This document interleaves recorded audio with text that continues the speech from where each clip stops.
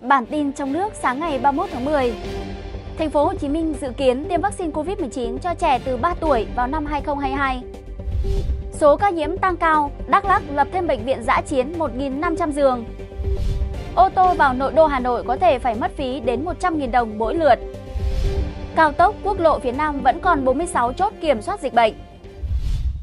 Kính chào quý vị. Nguyễn Tươi rất vui được gặp quý vị trong bản tin trong nước sáng ngày hôm nay 31 tháng 10 của DKN TV. Kính chúc quý vị có một ngày mới sức khỏe và bình an. Thưa quý vị, quý vị có thể đăng ký email để nhận các bản tin quan trọng hàng ngày của DKN News. Quý vị cũng có thể theo dõi kênh DKN News trên mạng xã hội Chat, nơi chúng tôi sẽ cho đăng những nội dung không có trên YouTube. Còn bây giờ là nội dung chi tiết của bản tin trong nước sáng nay, ngày 31 tháng 10.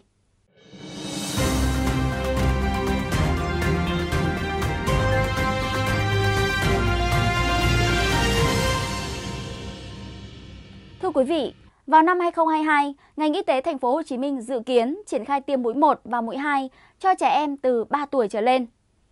Tại hội nghị sơ kết phòng chống dịch bệnh COVID-19 của ngành y tế thành phố Hồ Chí Minh trong đợt dịch thứ tư vào chiều ngày 30 tháng 10, bác sĩ Nguyễn Văn Vịnh Châu, Phó Giám đốc Sở Y tế thành phố Hồ Chí Minh thông tin, đợt dịch thứ tư tại thành phố Hồ Chí Minh bắt đầu vào cuối tháng 4, ca đầu tiên ghi nhận tại quận Bình Tân, sau đó tiếp tục phát hiện 2 ca cộng đồng tại quận 7 và Thủ Đức những trường hợp này nhiễm trùng Delta. Thông tin về những hoạt động phòng chống dịch bệnh trong thời gian tới, ông Châu cho biết kế hoạch 2 tháng cuối năm, thành phố tiếp tục tiêm vét vaccine COVID-19 mũi 1, mũi 2 cho người trên 18 tuổi, đồng thời tiêm mũi 1, mũi 2 cho trẻ từ 12 đến 17 tuổi, dự kiến hoàn tất vào cuối tháng 11. Đặc biệt, thành phố Hồ Chí Minh sẽ tiêm nhắc mũi 3 cho nhóm có nguy cơ cao, lực lượng tuyến đầu chống dịch trong tháng 11 và tháng 12 năm nay. Bước sang năm 2022, ngành y tế thành phố dự kiến triển khai tiêm mũi 1 và mũi 2 cho trẻ từ 3 tuổi trở lên. Ngoài ra, tổ chức tiêm vaccine mũi 3 và mũi 4 cho những người đủ thời gian theo quy định của Bộ Y tế. Kính thưa quý vị, vào ngày 30 tháng 10, Ủy ban Nhân dân tỉnh Đắk Lắk ban hành quyết định thành lập Bệnh viện giã chiến số 2 để điều trị bệnh nhân COVID-19. Bệnh viện có quy mô 1.500 giường, trực thuộc Trung tâm Y tế huyện Cư Cu In và đặt tại trường chính trị tỉnh Đắk Lắk ở phường Tân Hòa, thành phố Buôn Ma Thuột. Cơ sở này có chức năng là cách ly, chăm sóc, điều trị bệnh nhân dương tính với SARS-CoV-2 không có triệu chứng hoặc có triệu chứng nhẹ, thu dung điều trị bệnh nhân COVID-19 mức độ nhẹ và có bệnh lý nền ổn định. Theo Sở Y tế tỉnh Đắk Lắk, từ ngày 27 tháng 4 đến nay, địa phương đã ghi nhận 3.874 ca mắc COVID-19, trong đó có 1.754 trường hợp đang điều trị, 2.096 ca đã điều trị khỏi và 24 người đã tử vong.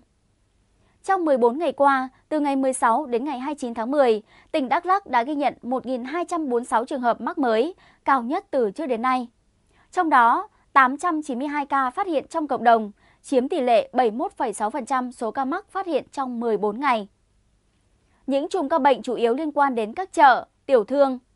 Theo đánh giá cấp độ dịch, Đắk Lắk hiện ở cấp độ 3. Trước tình hình diễn biến phức tạp, tỉnh Đắk Lắk dự kiến tăng số giường điều trị cho bệnh nhân COVID-19 lên 5.580 giường ở cả 3 tầng điều trị. Ô tô vào nội đô Hà Nội có thể phải mất phí đến 100.000 đồng mỗi lượt. Kính thưa quý vị, vào chiều ngày 30 tháng 10, ông Vũ Văn Viện, Giám đốc Sở Giao thông Vận tải Hà Nội đã có buổi trao đổi với báo chí về phương án thu phí phương tiện vào nội đô. Ông Viện cho biết, Mức phí sẽ được tính toán trên cơ sở kinh phí đầu tư và chi phí vận hành bảo trì hệ thống thu phí, được xác định dựa trên số liệu thu phí của Tổng cục Đường bộ và đếm lưu lượng. Dự kiến mức thu phí thấp nhất đủ bù đắp chi phí đầu tư và chi phí quản lý vận hành khoảng 50.000 đồng một lượt.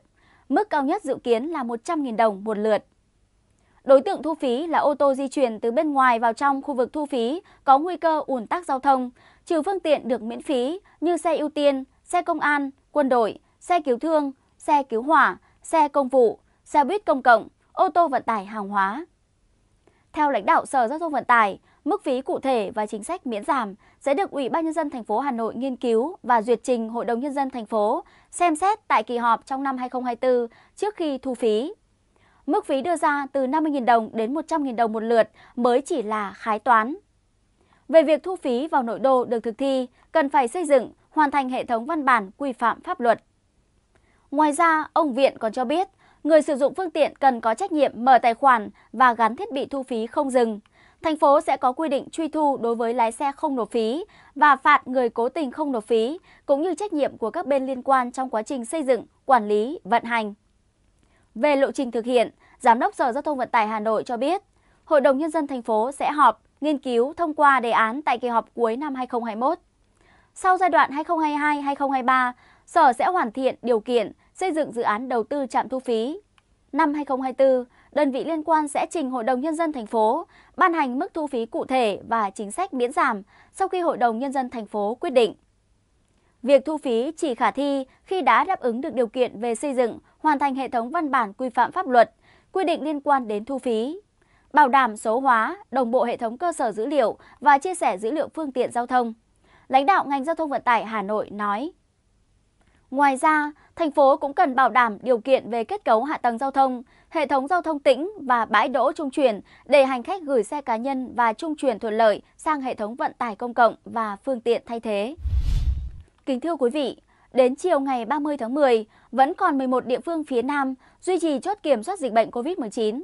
Một số chốt có tình trạng ùn ứ do tài xế đã không chuẩn bị khai báo y tế từ trước. Trao đổi với báo chí trong nước, ông Nguyễn Văn Thành, Cục trưởng Cục Quản lý Đường bộ số 4 thuộc Tổng cục Đường bộ cho biết, trên các địa bàn đơn vị quản lý, hiện còn 46 chốt giao thông phục vụ kiểm soát dịch bệnh COVID-19 do 11 địa phương duy trì. Cục Quản lý Đường bộ số 4 được giao quản lý các quốc lộ, cao tốc nằm trên địa bàn 22 tỉnh phía Nam từ Ninh Thuận đến Cà Mau. Thời điểm dịch bệnh COVID-19 bùng phát mạnh tại các địa phương này, đơn vị chức năng đã phối hợp với các địa phương lập 126 chốt kiểm soát. Sau khi chính phủ ban hành nghị quyết số 128 về thích ứng linh hoạt với dịch COVID-19, các địa phương đã gỡ bỏ 80 chốt kiểm soát. Trong đó, nhiều địa phương đã tháo rỡ hoàn toàn các chốt như tỉnh Ninh Thuận, Bình Thuận, Long An, Cần Thơ, Sóc Trăng, Hậu Giang, Vĩnh Long, Tây Ninh và thành phố Hồ Chí Minh. Tuy nhiên, 46 chốt trên địa bàn 11 tỉnh vẫn được duy trì bao gồm Lâm Đồng, Bà Rịa Vũng Tàu, Bạc Liêu, Sóc Trăng, Cà Mau. Ông Thành cho biết, tài xế khi qua chốt phải dừng lại để kiểm tra khai báo điểm đi, điểm đến và chứng nhận tiêm đủ vaccine. Cục Quản lý Đường bộ số 4 đã theo dõi trong một tuần qua và ghi nhận tình hình giao thông tại 46 chốt này cơ bản thông suốt. Tình trạng ùn ứ có xuất hiện tại một số chốt do tài xế đã không chuẩn bị khai báo y tế từ trước. Ông Thành chia sẻ. Theo báo cáo của Cục Quản lý Đường bộ số 3, quản lý khu vực miền Trung và Tây Nguyên, trên các tuyến quốc lộ và đường Hồ Chí Minh do Cục này quản lý mới có 10 chốt dừng, còn lại 54 chốt vẫn đang hoạt động. Ngày 29 tháng 10, Phó Tổng cục trưởng Tổng cục Đường bộ Nguyễn Xuân Cường đã ký văn bản gửi các tỉnh, thành phố, đặc biệt là khu vực miền Trung, Tây Nguyên và phía Nam về việc tiếp tục tạo điều kiện thuận lợi cho hoạt động vận tải ô tô được lưu thông kịp thời, thông suốt, mọi lúc mọi nơi trong thời gian tăng cường giải pháp phòng chống dịch bệnh. Thưa quý vị, bản tin trong nước sáng ngày 31 tháng 10 của DKN TV đến đây tạm dừng. Cảm ơn quý vị đã quan tâm theo dõi. Kính chúc quý vị luôn bình an và mạnh khỏe. Xin kính chào và hẹn gặp lại.